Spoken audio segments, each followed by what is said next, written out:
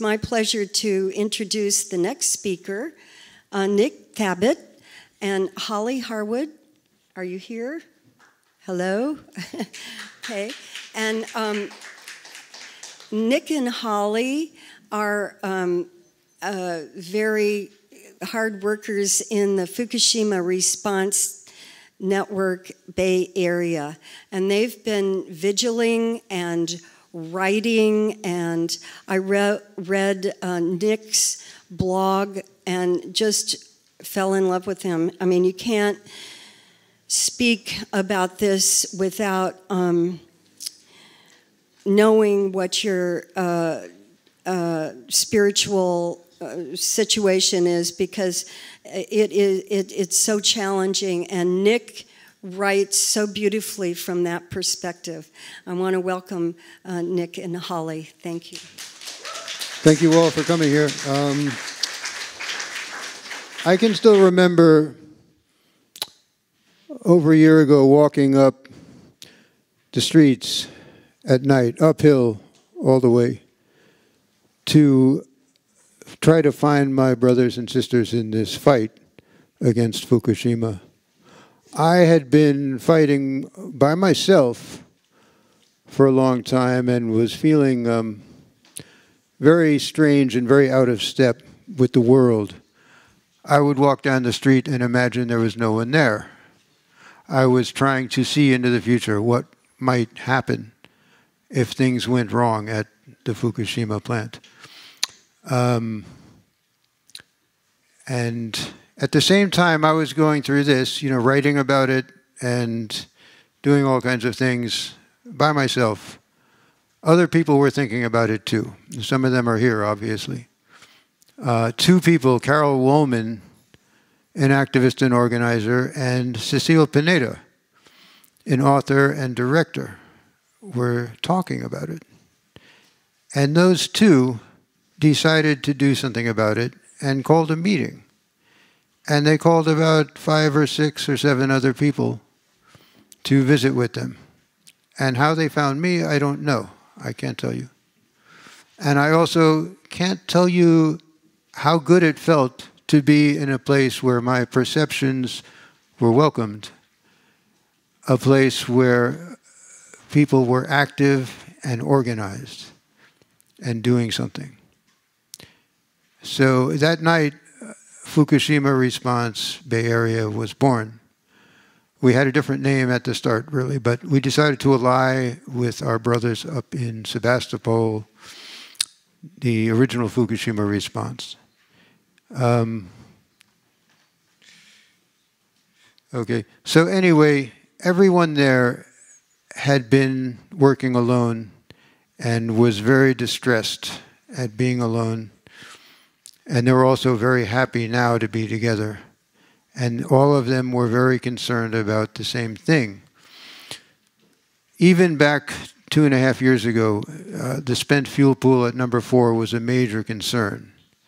It's still a major concern for many reasons. Uh, you know, earthquake, uh, handling the fuel, uh, a loss of electrical power. Do you know that a mouse crawled into the electrical control panel there and shut down the cooling systems for four spent fuel pools, including the large one, the common spent fuel pool? Uh, it's a very it's a very funny situation there. In any case, I discovered that acting together we could do something. And what I want to say is only in acting together can we do anything. You know, it's a long shot no matter what we're doing. But only acting together locally, nationally, and internationally are we going to have any effect. I also want to say that there's maybe a positive side to this. I think Fukushima is going to bring people together in a way that nothing else has. I was in New York when 9 11 happened, and I think we all know how people just jumped in very selflessly they gave blood, they offered to work at the site, they worked at phone banks, they did many things. I think what happens with Fukushima will be the same, but it's not going to be over in a day or a week or a month. It's, we're looking at another 40 years or 100 years, I don't even know. It's going to stay with us. And I think it's going to change people, but in a good way.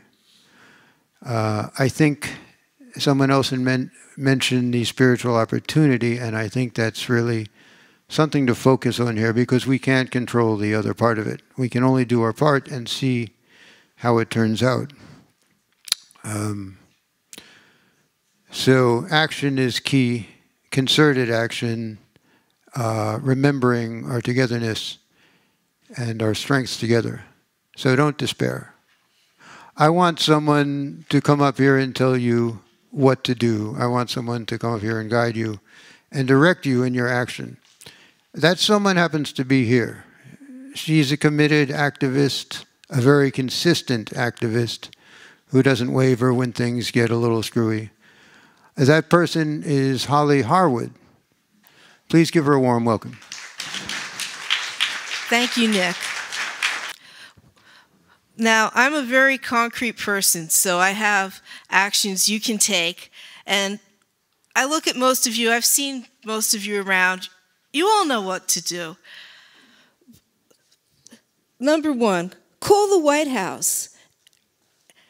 The comment line is 202 456 1111. If you pick up a copy of the Fukushima Digest, it's in there in case you can't remember it. Call early and often really let them know it's on our radar and we want action. Now, every Friday, members of Fukushima Response and our friends go out and do what we call hazmating.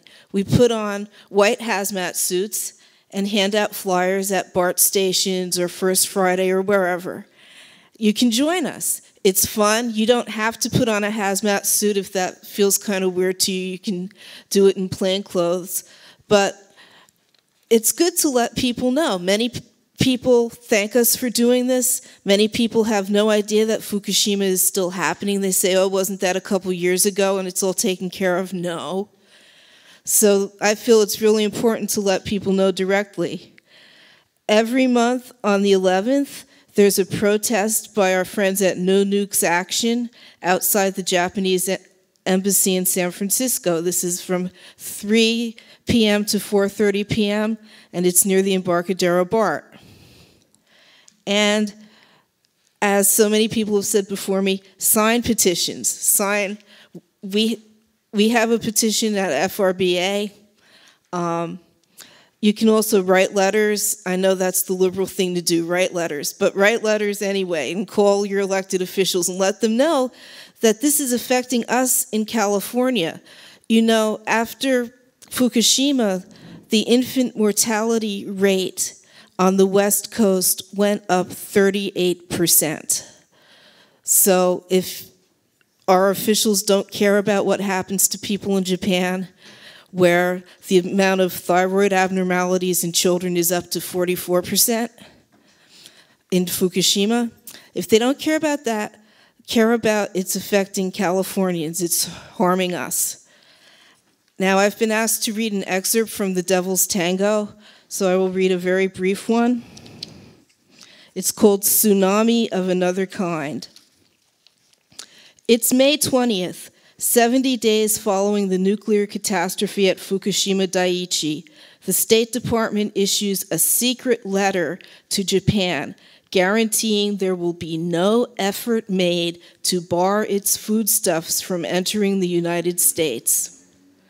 The levels of cesium and iodine 31 are shown to be exceptionally high over the Northern Hemisphere over continental United States. Japan has asked the United States to cooperate in not releasing fallout information. The EPA no longer reports the levels of contamination sweeping over the continent.